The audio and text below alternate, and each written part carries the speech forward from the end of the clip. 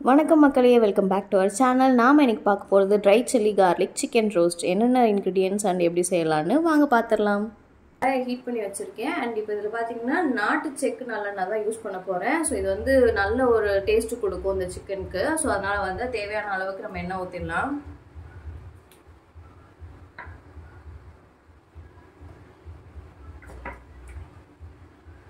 எண்ணெய் ஹீட் ஆகட்டும் ஹீட் ஆனதுக்கப்புறம் நெக்ஸ்ட் நெக்ஸ்ட் இன்க்ரீடியன்ஸை போட்டுடலாம். இதுக்கு வந்து நம்ம ஒரு சொட்டு தண்ணி கூட யூஸ் பண்ண போகிறது கிடையாது. சிக்கனில் இருக்க தண்ணி அண்ட் ஆல்சோ இதில் இருக்க எண்ணெய் மட்டுமே வச்சு குக் பண்ண போகிறோம் எண்ணெய் வந்து சூடாயிடுச்சு. இப்போ பார்த்தீங்கன்னா ஒரு கை அளவுக்கு சின்ன சின்ன பூண்டு பல்ல எடுத்து தட்டி வச்சுருக்கேன். ஸோ அதை அப்படியே வந்து போட்டுடலாம்.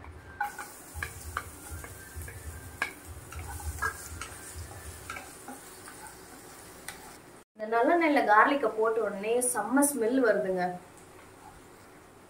இப்போ வந்து பூண்டு நல்லா வதங்கிருச்சு. ஸோ இப்போ இது வந்து ப பன்னெண்டுலேருந்து பதினஞ்சு வரமிளகாவை நான் ஆட் பண்ணிக்கிறேன்.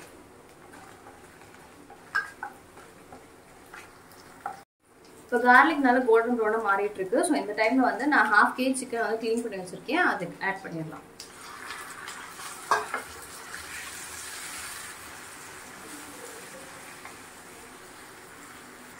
இப்போ சிக்கனை வந்து அந்த கார்லிக்கோட நல்லா பரட்டி விட்டாச்சு. இப்போ வந்து கால் டீஸ்பூன் வந்து மஞ்சத்தூள் ஆட் பண்ணிக்கலாம்.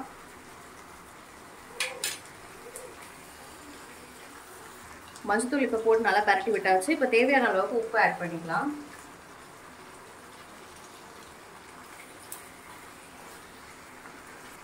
இப்போ தேவையான உப்பு அண்ட் மஞ்சத்தூள் போட்டாச்சு. இப்போ வந்து இந்த சிக்கன் வந்து ஃபைவ் டு டென் மினிட்ஸ் நல்லா மூடி போட்டு மூடி வச்சுருங்க. அதிலே நல்லா குக் ஆகட்டும்.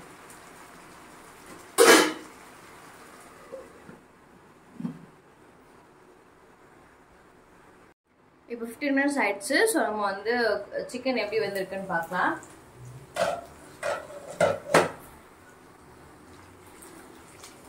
சிக்கன் நல்லாவே குக் ஆயிருக்கு. ஸோ இப்போ என்னன்னா நான் ஒரு டேபிள் ஸ்பூன் ஜீரக பொடி ஆட் பண்ணிக்கிறேன்.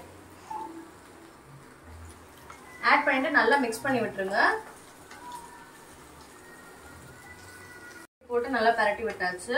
இப்போ வந்து நான் ஒன்றரை டேபிள் ஸ்பூன் வந்து பெப்பர் எடுத்திருக்கேன். ஸோ அதையும் ஆட் பண்ணிக்கலாம்.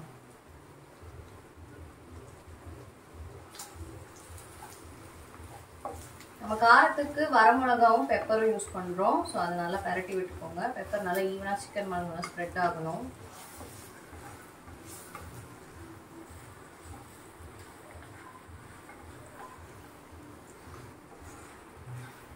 இப்போ வந்து பெப்பர் அண்ட் uh, ஜீரக பொடி போட்டிருக்கோம். சிக்கன் நல்லாவே வெந்திருக்கு. ஸோ இதில் வந்து ஒரு ஃபைவ் மினிட்ஸ் வச்சிங்க அப்படின்னா அந்த பெப்பரும் அந்த ஜீரக பொடியும் நல்லா வந்து சிக்கன் இறங்கும். ஸோ இப்படியே ஒரு ஃபைவ் மினிட்ஸ் டிஸ்டர்ப் பண்ணாமல் வச்சுருங்க. இப்போ ஃபைவ் மினிட்ஸ் ஆயிடுச்சு. சிக்கனும் நல்லாவே வந்து அந்த பெப்பர் அண்ட் ஜீரக பொடியோட மர்ஜ் ஆகி நல்லா குக் ஆயிடுச்சு. ஸோ இப்போ இறக்கிட்டு நம்ம பிளேட்டிங் பண்ணிடலாம். Easy and tasty dry chilli garlic chicken roast ready இதோட மெயின் இன்க்ரீடியன்ட்டே நல்லெண்ணெயும் கார்லிக்கும் தான். ஸோ அதை நல்லா சாட்டே பண்ணி சூப்பராக இதை பண்ணிடுங்க.